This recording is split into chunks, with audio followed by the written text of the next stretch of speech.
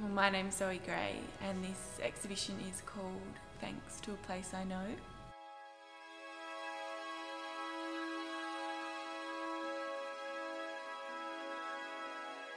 There's one painting in particular, um, Mountain Near. Um, if I was to pick one work to represent what I'm trying to do, I think it'd be that painting. For a start, it was one of those works that actually seemed to um, reveal itself and, and be pretty easy and fluid. I think uh, initially maybe I started painting landscapes in that portrait orientation as a way to disrupt that traditional um, scene and to invite a response that wasn't automatically reading something as a landscape.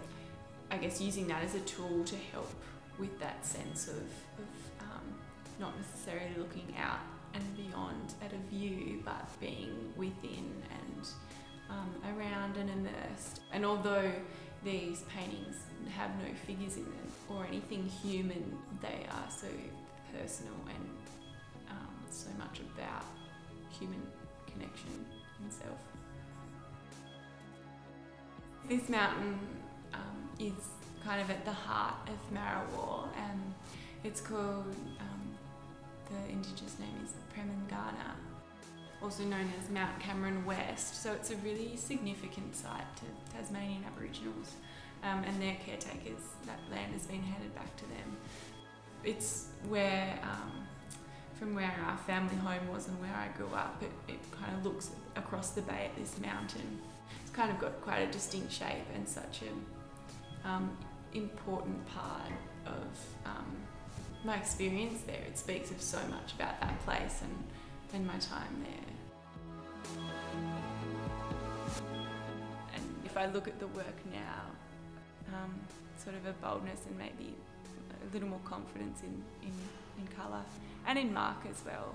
Um, and that's probably something else that's come from being immersed in this process for the last sort of year and really focusing on this work is there's a confidence that um, you kind of gather from that and it becomes um, just part of what you're doing.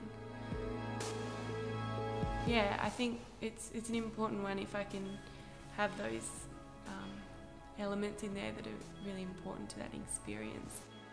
And I think it works well as a painting as well. I think it's reasonably strong in terms of composition and colour. So if those two things are happening at the same time, which so rarely does, it's um, it kind of it, you feel like something's working. Probably what I've learnt most from this body of work is the importance painting has for me in playing a role in me staying connected to place and how even just the actual process of painting, even if I'm not thinking about the fact that I'm painting about Marrawah. even if I'm just putting paint to the board, it feels like I'm staying committed to that to that idea and then connected to the place through that. So through this through this show, um, that's been revealed as I've learnt that that's why at the moment that's that's why I'm painting and and that's the point of the work I guess for me.